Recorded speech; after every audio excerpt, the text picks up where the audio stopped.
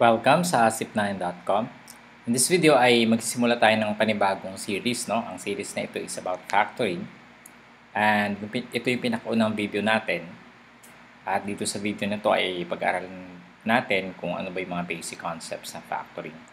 Uh, ang lesson na ito is about uh, factoring polynomials but uh, to, to introduce to you the concept of factoring, magsimula muna tayo sa numbers. No? So, ang numbers ay pwede natin siyang express as product of two or more numbers. No? For example, yung number na 42. Ang 42 ay pwede natin siyang express ng product of two numbers or more. No? For example, uh, ang pinakamadali siguro dito is 1 times 42. No? Ang susunod ay uh, maybe 6 times 7 or maybe 2 times 21 and uh, ano pa um, 2 times 3 times 7 pwede din na 3 times 14 so yung mga nakikita yung numbers dyan yung 1 yung 2 yung 3 yung 4 ah may 4 ba? wala so 6 7 what else? 14, 21, and 42. Ang tawag natin dyan ay factors of, these are uh, factors of 42. Now notice that each of these factors, no, each of the factors are also divisors, no, are divisors of 42. So, pag sinabi mong divisor tsaka factor, you're actually uh, referring to the same thing. No? Pag uh, sinabi mong factors of 42 tsaka divisor of 42, parehong numbers yung yung uh, tinutukoy. No? Uh, kung mapapansin niyo may part tayo dito, no? Kung part na to. Anong napapansin niyo diyan? Puro siya prime numbers, 'di ba? Yung yung 2, yung 3 tsaka 7. Ang lahat 'yan sila ay prime numbers. So, pag ang number ay inexpress as product of prime numbers and prime numbers only, no? Ang tawag natin dyan ay prime factorization. So, 2 times 3 times 7 is the prime factorization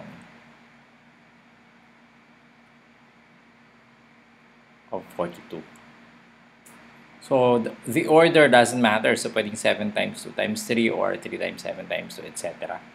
So, as long as prime number siya, ang tawag natin sa kanya ay prime factorization.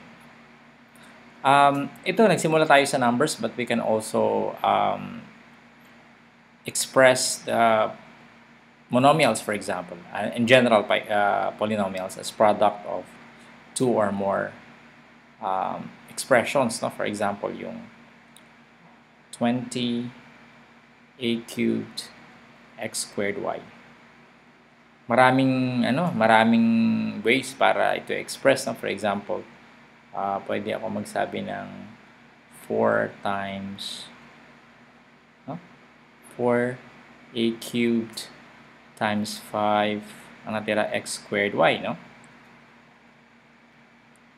Or kaya pwede ko rin sabihin na 2a squared x times 10 ang natira, may ipa tayo natira ng isa dito meron pa tayong isang x, and then meron pa tayong y. That's another one. Or kaya pwede ko rin sabihin na uh, 2 times 2 times 5 no? times uh, what else? a cubed times x squared times y. No?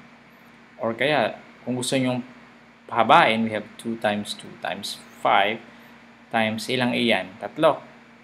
a times a times a times x times x times y. So, yan din yung mga uh, factorization ng uh, ah, 20x or 20a cubed x squared y. Pero, asan naman yung prime factorization niya dito sa mga to? So, para makuha mo yung prime factorization, dapat naka-prime uh, factor yung ano yung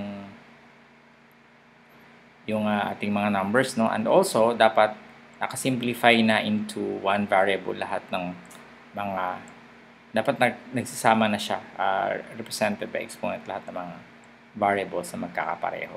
So, in effect, ito yung ating prime factorization or ang tawag natin ay complete no?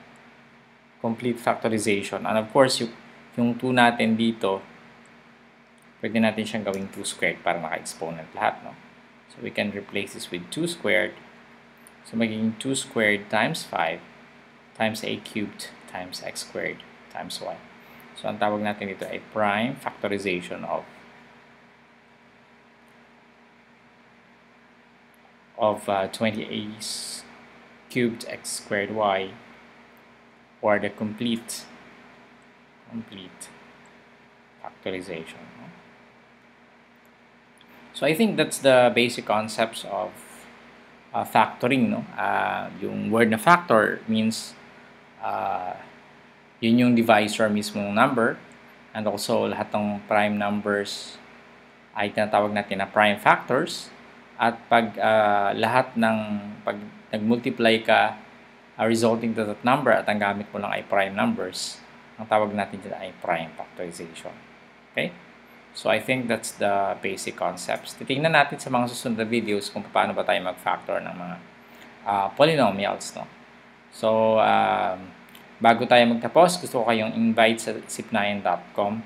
Yan yung ating uh, website. You can uh, uh, visit the site. Nandiyan yung listahan ng mga videos natin. And of course, if you want to subscribe sa ating YouTube channel, you can just click the subscribe button below the video. So, every time na mag-post tayo ng video ay makakatanggap kayo sa inyong email. No? So, maraming salamat and see you in the next tutorial.